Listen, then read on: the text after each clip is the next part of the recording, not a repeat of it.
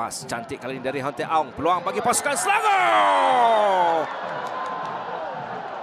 Akhirnya baru tiga minit usia perlawanan. Selangor di depan. Hasil jaringan penting dari Nur Adlin. Bermula daripada lontaran. Kemudiannya sedikit lewat marking yang dilakukan oleh pemain-pemain pertahanan pasukan Kuching City.